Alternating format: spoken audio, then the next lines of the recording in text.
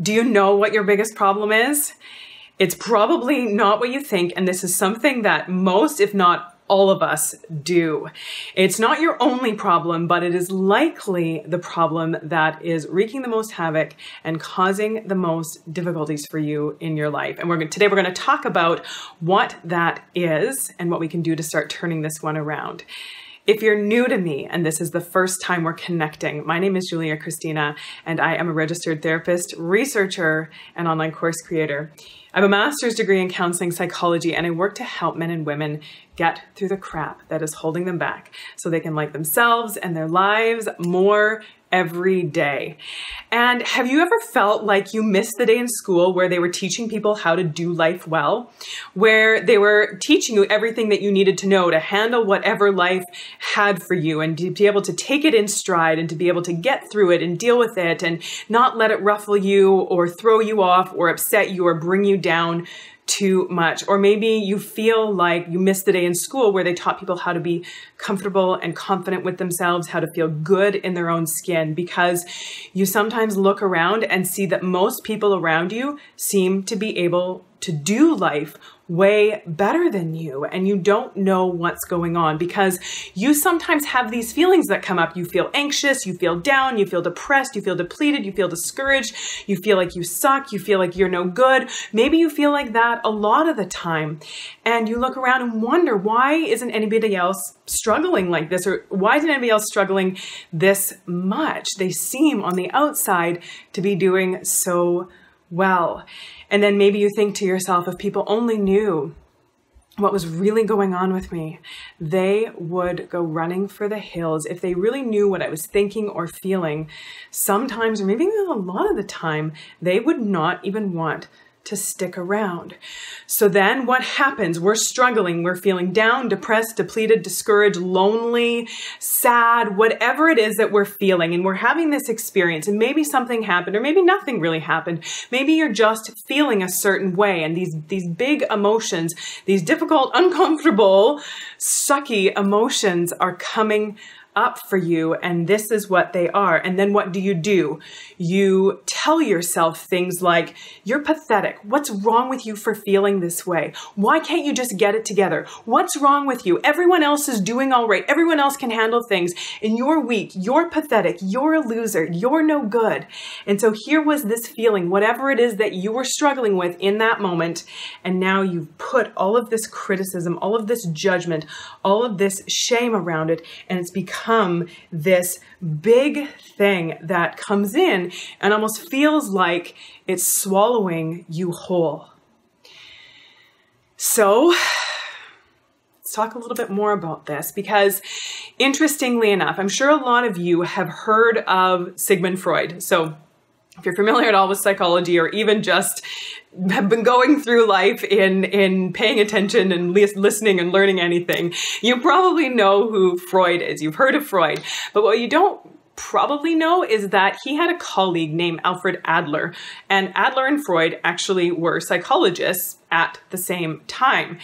And Freud was the one who was talking all about how all our issues come from our parents and that all of our stuff is about these unmet sexual needs that we have at these different milestones in our lives, and that's where all of our big issues come from. And Adler stepped in and he said, I don't know about that. I don't really think that it all comes back down to mommy and daddy issues. It all comes back down to this sexual stuff. I think that there's something deeper going on for us as human beings.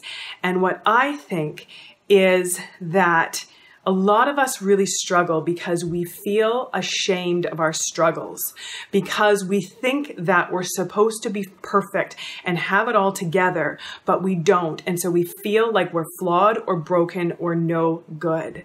So then, what are people supposed to do? How do we get through this? If this is our biggest problem, that we think that it's a problem to have problems, what do we do? And what Adler said is one of the biggest things that we can do to get through a lot of our biggest struggles is learn to have the courage to be imperfect. What would that be like if we allowed our space, ourselves space to be human beings, to not be judging and criticizing and berating ourselves for struggling, for not thinking that it's a problem to have problems. So then what does this look like practically speaking? What are you supposed to do when you're struggling, when you're going through something? And I have another, another video on here that I'm going to link to that goes a little bit more deeply into this and gives a few more strategies on how to deal with it. But for now, what I want you to do next time you're going through something and some kind of uncomfortable or, or negative or just yucky emotion comes up for you, here's what I want you to do. I want you to do nothing. I want you to just allow yourself to acknowledge that feeling. I don't want you to do anything. I don't want you to judge yourself, to try and tell yourself to stop feeling that way, to criticize yourself by telling yourself you're weak or pathetic or no good because you're struggling. I want you to do nothing. I want you to just notice and observe with curiosity and interest why you might be feeling this way or what's going on with you in this moment, or even just leave it be. Just say, This is how I'm feeling. Acknowledge the feeling for what it is without creating all of this other stuff, all of this other junk around it, because that is what spirals, spirals us down. That's what gets us stuck. That's what keeps us just sort of in our stuff and unable to get out of it. So, our biggest problem is that we think that it's a problem to have problems. And in order to get past that problem, we have to acknowledge that all of us as human beings struggle sometimes. It doesn't mean that we're bad or weak or pathetic or no good. We need to learn to be more mindful about our problems, about what we're going through, about what we're feeling. And mindful means noticing them with curiosity or just holding a space for them. And you can learn how to be more mindful. For those of you who are not really familiar with mindfulness, or those of you who are, I have another video about what mindfulness is, and I'm going to link to that as well. And I also have for you a 10 minute guided mindfulness exercise that you can do. I'll put the link below. That's yours for free. And it's an exercise that will really help you to learn how to observe and notice your feelings without attaching all of this other stuff around it. It will actually teach us to learn how to have the courage to be imperfect. Thanks for being here. Like the video, subscribe, share it out, leave your comments. I love hearing from you what you thought about this and tell me how it goes for you if you start just noticing what you're feeling and not criticizing and judging yourself for feeling it, calling the feeling out, letting yourself just sit with it instead of creating all this stuff around it that will cause you to get stuck in it. I'm so glad that you are here. And also make sure you join my Facebook group, goodformegroup.com.